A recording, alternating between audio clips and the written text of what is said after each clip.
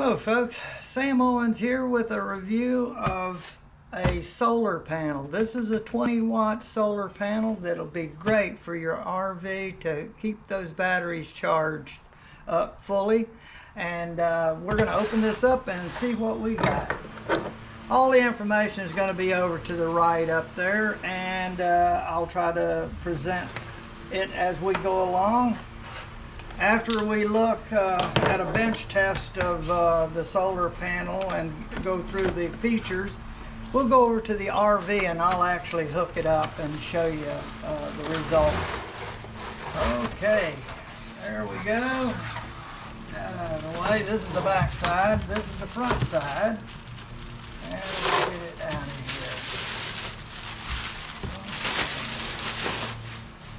here. Let me see like that. Right there looks like a good uh, 10 to 12 foot cord. And you, I see right there the alligator clips and also a way of connecting into the cigarette lighter or charger port. And we'll look at each of these. And also some mounting screws. Look at there four of them and they look stainless steel. So one thing about the RV is most all RVs have a, a, a, couple of air conditioners and that's where most solar panels are mounted if you want to mount them permanently and they give you the screws to sit here and looks like to attach them at these four locations and it can mount right up on the uh, air conditioner. Uh, it's a plastic shroud up there. And then usually if you put it on the front, the front air conditioner is usually where there's access to the uh, 12 volts uh, going to your coach battery. So this is a good place to uh, be able to charge your coach batteries. Uh, and uh, we'll try to look at that. It requires me going up on the rig and I may just take you up there. All right, this is 20 watts and here is uh, it's Suner Power. And uh, it's got uh, this is the BC 20 watt Pro. And it's got everything you need uh, to be able to charge your coach batteries would be uh, good for this if you mounted it up on the air conditioner in the user manual is a lot of information that I would suggest very strongly reading before you even do anything uh, with the, the solar charger and find out uh, the main features and I'm posting them up to the right so you can read some of this.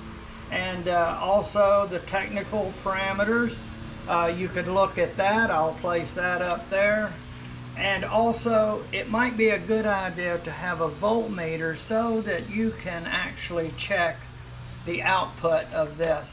Now, what this has in it is a, a controller is built into the unit. It doesn't have a separate controller. Some of them have a separate controller that has a lot of features. Evidently, this is just a, a straight controller that you can't change the parameters of it. Uh, it's set up to handle all the different major types of batteries. And uh, it says built-in MPPT. That's uh, max power port transfer. And uh, what it means is it regulates the power so that you don't overcharge your battery. So it's very important to have that controller in it. You never want to just charge uh, uh, full strength out of the charger without uh, regulation. So when the, the batteries are charged, you want the solar charger not to charge the batteries. Very important. And this has it. 20 watt is a great uh, little power rating uh, to handle just um, a, a, little task like that. This is designed uh, to uh, charge 12 volt batteries uh, it will charge uh, both uh, AGM and deep cycle and lead acid batteries, but not 6 volts. An individual 6 volts, uh, you do not want to use this. You don't want to use it on 24 or 36 uh, volt batteries, only 12 volt. Now, most RVs have two 6 volt batteries and they're connected in series, means the added voltage between two 6 volts is 12 volts. And that you can use this for uh, to connect across both uh, the positive of one uh, 12 volt battery, which is connected between the two, and then the other end would be give you the 12 volts. So you should measure 12 volts and that will work. Here is the LED indicator, which is located right there. It tells you all the different conditions and we'll look at that out there. Now we're going to look at these uh, accessory cords. Uh, they give you three different connection modes. This is uh, just a connection point and don't let these touch. But when you plug these two together, you could wire to a battery, you know, pull this apart and wire directly to a battery like that, if that's the way, or put eye, eye connectors on there uh, to go onto the connector of the, the battery clamp. So that's one option. Here, if you just want to clip into this and actually just temporarily clip across them, like when you go camping just for the week or what have you, you can clip across the battery, positive and negative. And right here, if you want to charge through the power port, yes, you can charge batteries by plugging into a vehicle's power port and plug here and it will deliver a charge through there. So you can kind of uh, charge it up that way if it's something you want to do real quick like. Okay so all kinds of options right there and uh, I think we'll try to see how this works on the uh, motorhome as you can see I have a solar monitor already hooked up in my motorhome, but my old solar panel went out, so it never has worked, and I didn't have any up there. Now we're going to hook this up. I'm going to go up on the uh, up on the roof, and we're going to hook the uh, solar panel in. And uh, I'm not going to mount it. I'm just going to show you.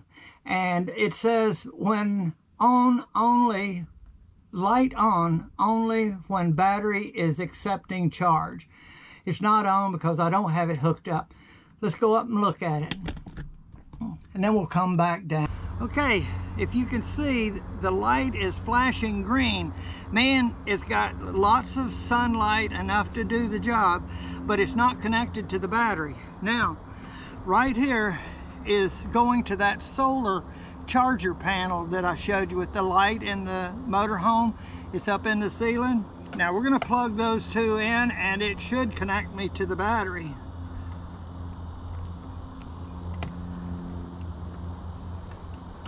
There. It's flashing red. That means that it's charging my coach batteries right now. The sun is charging them. So this is a good place for me to mount this if you'll notice, this is where the old one, it was a small one, uh, mounted. What I'll probably do is, uh, I might even leave that there and get longer screws or bolts and screw this down with longer screws and that'll give it some support since it's already here and mounted. But that's going to do the job right there. It is charging my batteries and we're going to go and look at the batteries. Uh, I've got a, a, meter in there that will show me uh, what the voltage is. So we'll go down and ch uh, check it. That's going to work great and this could work great for you. And if you don't have a solar monitor like I do, you can just run wires down to your battery and you'll be okay. It's just that I'm going to be able to see when the charger is working. That's mounted underneath my air conditioner. And uh, there's a lead that goes down to my battery, so that's what uh, makes it work. And this is a monitor to monitor the voltage coming from the solar charger. Okay, or solar panel. Okay. Folks, get you one if you have an RV and you don't have a solar uh, panel. Uh, you could get one of these 20 watts. They look like they're just the right size to mount up on the uh, air conditioner uh, uh, cover. And uh, you see what you can do, and I think you'll be happy with the performance. Thanks for watching.